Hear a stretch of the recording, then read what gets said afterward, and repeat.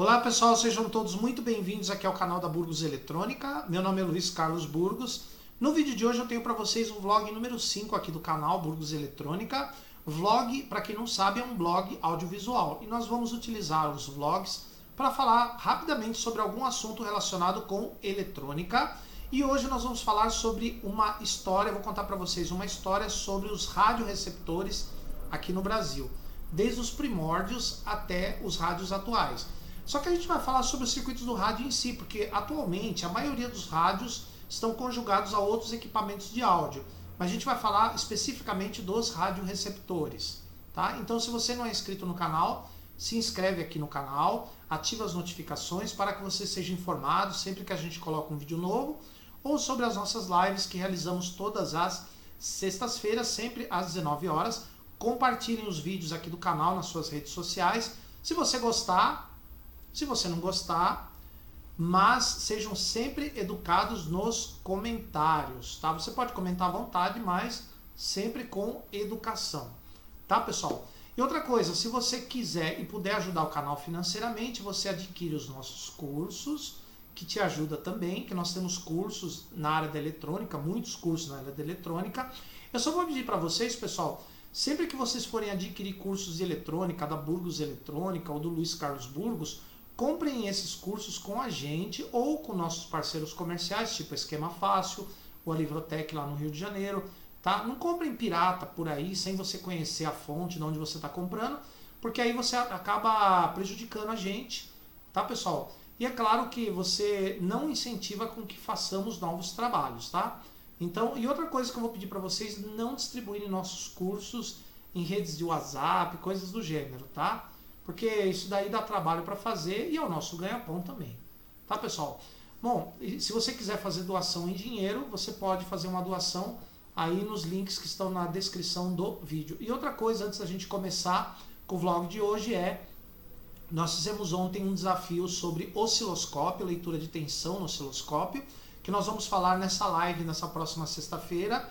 Então, na, no primeiro link aqui na descrição, você pode baixar o desafio que são 30 exercícios de osciloscópio. Se você acertar os 30 exercícios, você vai mandar para o nosso e-mail a resposta.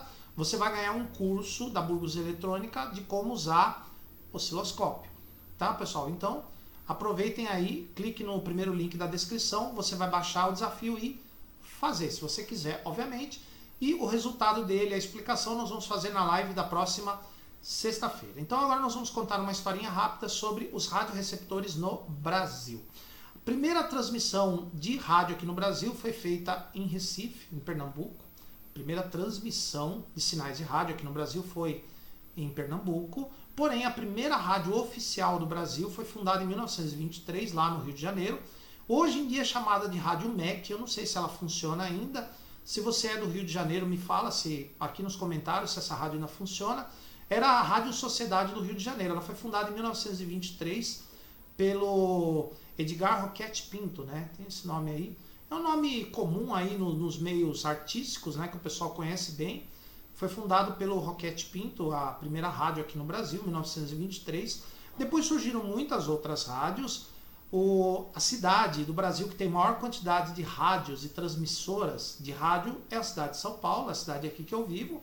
Aqui você tem as rádios é, mais conhecidas aí do Brasil, como Rádio Globo, Rádio Record, Transamérica, Rádio Mix, é, Jovem Pan, tem várias rádios bem conhecidas aqui de São Paulo, algumas são de alcance nacional, outras são de alcance apenas aqui da cidade. Depois vem o Rio de Janeiro, que tem muitas rádios também. Na verdade, o, o eixo Rio-São Paulo, que é, na verdade se fala eixo Rio-São Paulo, mas é as duas cidades, né, que uh, eu tô aqui, a gente está mais ou menos 400 quilômetros do Rio de Janeiro, né? Nas duas cidades concentram aproximadamente 90% do polo audiovisual do país. Então, por exemplo, a primeira emissora de televisão foi fundada em 1950 aqui na minha cidade, a TV Tupi, né? Foi fundada por pelo Assis Chateaubriand, ou Assis Chateaubriand, que tem um sobrenome francês, era um paraibano com sobrenome francês ele fundou a TV Tupi né, em 1950, a primeira TV no Brasil, depois foram fundadas outras. E vocês sabem que nas duas cidades, entre Rio e São Paulo, que estão a grande maioria das emissoras de rádio e televisão do país, os estúdios de dublagem do, do Brasil, a maioria está localizado ou no Rio de Janeiro ou em São Paulo. Tá? Inclusive, as produções internacionais que chegam ao Brasil são dubladas ou no Rio de Janeiro ou aqui na minha cidade. A maioria, né? Claro, tem dublagens feitas em outras partes do país, mas a maioria é feita ou no Rio de Janeiro ou aqui em São Paulo. Inclusive é bastante comum você ouvir um, uma produção internacional, seja desenho, série, filme, etc., com um pouquinho de sotaque carioca ou um pouco de sotaque paulistano, tá, pessoal? Porque a maioria desses trabalhos é feito no Rio ou em São Paulo, porque é o maior polo audiovisual do Brasil. Então, voltando aqui à história do rádio, propriamente dito, então a primeira emissora foi em 1923, então os radioreceptores começaram a entrar no mercado brasileiro na década de 20. Entre a década de 20 e 30, os rádios eram grandes, o chassi dele era enorme, era um chassi de metal grandão. Usavam poucas válvulas, geralmente duas ou três válvulas, capacitor variável gigantesco, com várias seções, aqueles variável no núcleo de ar. Quase não tinha bobina nesses rádios, a não ser a bobina de sintonia, a bobina de antena. Os primeiros rádios, eles faziam o seguinte, eles sintonizavam a estação, demodulava e amplificava o áudio. Só isso. O rádio era basicamente isso: sintonia, é, demodulação, que é separar o áudio do sinal de radiofrequência, e amplificação de áudio para os alto-falantes. Só que na, nessa época, anos 20, anos 30, tinham poucas emissoras de rádio aqui no Brasil. Então, os aparelhos eram mais simples, eram pesados, eram grandes. Inclusive, naquelas épocas, era bastante comum vocês encontrarem rádios do tamanho desse de móveis, né? Como por exemplo esse wardrobe que está atrás de mim aqui, esse guarda-roupa. Então esse guarda tinha rádio que era quase o tamanho desse guarda-roupa, eram bem grandes, tá? Aí a partir dos anos 40 começaram, começou a entrar no mercado aqui os rádios superheteródinos. O que, que era rádio superheteródino? O rádio superheteródino é um rádio que transforma o sinal de radiofrequência, que é, que, que é o da emissora sintonizada, num outro sinal chamado sinal de frequência intermediária. Ah, então quer dizer que os rádios passaram a ter etapa de frequência intermediária. Então o rádio ganhou o circuito oscilador local e o canal de FI, de frequência intermediária. Dessa forma, o rádio conseguia melhor seletividade e sensibilidade. O que é sensibilidade? É a capacidade do rádio em reproduzir emissoras fracas, sinais que chegam fracos na antena, porque com etapas a mais ele podia amplificar mais. E o que é seletividade? É a propriedade que o rádio tem de separar uma estação da outra. Um rádio super heterógeno é melhor para separar as estações do que um rádio antigo, que não era super heterógeno. Os primeiros rádios não eram super heterógenos. Tá? Aí nos anos 40 começou a surgir o rádio super heterógeno com uma etapa de FI. Só que a, o sinal de FI naquela época era de 260 kHz por aí. Então começou a ter alguns problemas no rádio, como por exemplo, como a frequência do FI era baixa, então muitas interferências conseguiam passar pelo canal de FI, ele não conseguia filtrar direito. E essas interferências acabavam, acabavam sujando mais ainda o som do rádio AM, que já era sujo. Acabava sujando o som, saindo com mais interferência, apito, estalo, coisas dos chiados, coisas do gênero. Tá? Nos anos 50, Chegou no Brasil os rádios, chegaram no Brasil os rádios super heteródino, começaram a aparecer no mercado os rádios super heteródinos já de 455 kHz, que já produziam um som um pouco melhor, porque o canal de FI já conseguia filtrar melhor as interferências, os ruídos, do que quando era 250 e 260 kHz. A FI de 455 kHz já era melhor e o canal de FI já conseguia filtrar melhor os ruídos. Então os rádios dos anos 50, que é quando surgiu a televisão, ainda eram rádios grandes, tinha válvulas grandes, bobinas grandes de FI, bobina osciladora grande, transformadores grandes, chassis pesado. Então tinha os rádios que eram móveis, tamanho de móveis, e tinha os rádios de cabeceira que mesmo assim eram grandes, tá? Nos anos 60, os rádios diminuíram de tamanho porque as válvulas que os rádios usaram diminuíram. Os rádios passaram a utilizar a válvula miniatura, substituindo as válvulas grandes que tinha base de baquelite. E já era bastante comum nos anos 60 os rádios cinco válvulas. Os rádios que tinham a válvula osciladora, misturadora, tinha a válvula de FI, a válvula, uma válvula era conversora, osciladora misturadora, a válvula de FI, a válvula pré-amplificadora e detetora, né, demoduladora, a válvula de saída e a válvula retificadora. Então, nos anos 60, essas válvulas eram menores, as bobinas do rádio diminuíram, os transformadores diminuíram e o chassi do rádio ficou mais leve. Então, os rádios ficaram menores do que dos anos, do, do que dos anos 50. Então, nos anos 60, os rádios eram menores, embora valvulados. Nos anos, no finalzinho dos anos 60, apareceu o rádio FM. Apareceram as FMs, emissoras FM. Por curiosidade, a primeira emissora de FM surgiu lá no Amazonas, tá? É a Rádio Tropical FM, foi a primeira emissora de FM aqui no Brasil. Em 1969 começaram a surgir as emissoras de FM estéreo, que transmitiam som estéreo.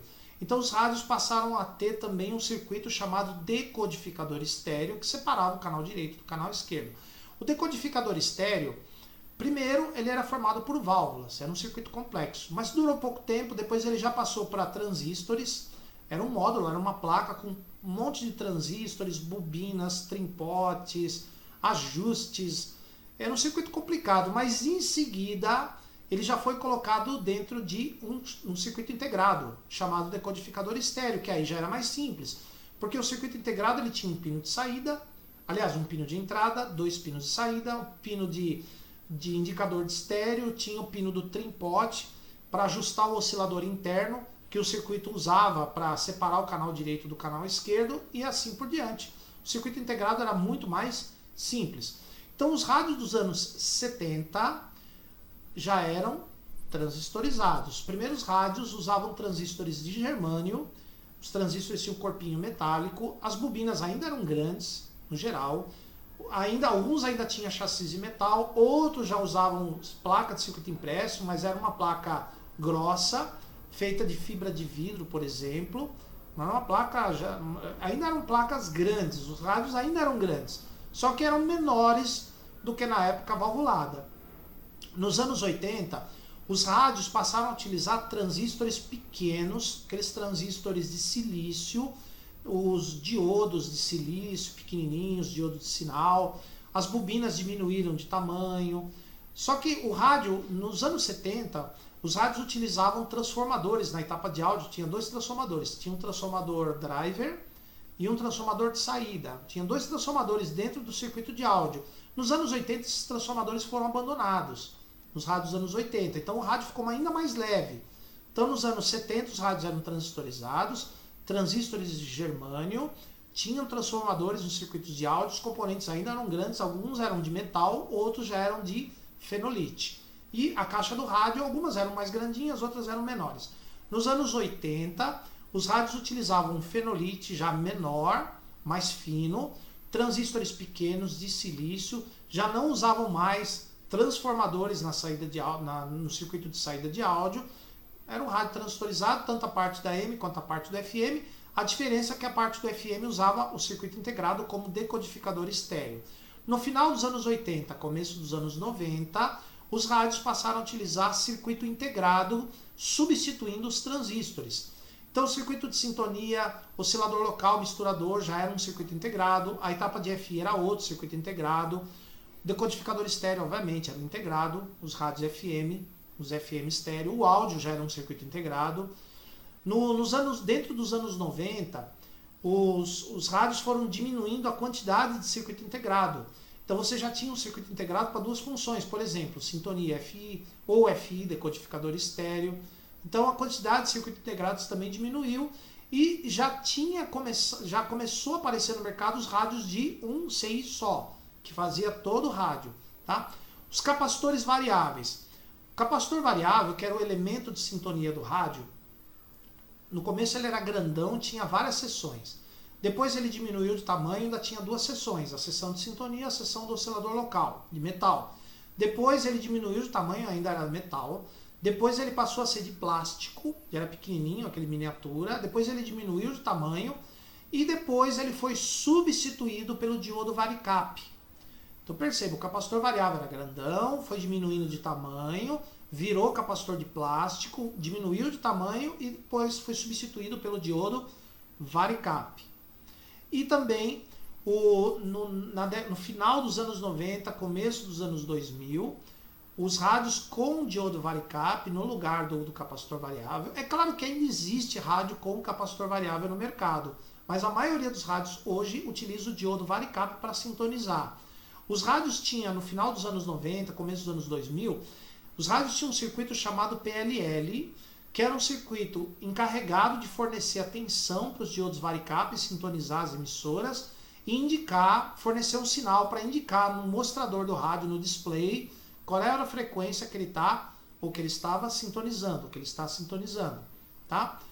Depois, no, nos anos 2000 até 2000 e até os dias de hoje, vamos assim dizer, os rádios passaram a ser formados por um único chip. Atualmente, os rádios são formados por um único circuito integrado que, além de processar todos os sinais de AM, FM mono, FM estéreo, indicador de sintonia, também faz a sintonia dos diodos varicap. Um único chip, um único circuito integrado, ele faz processamento dos sinais do rádio e também o, a sintonia dos diodos varicap. Isso quer dizer que o circuito PLL já está dentro do integrado só junto com o restante do rádio.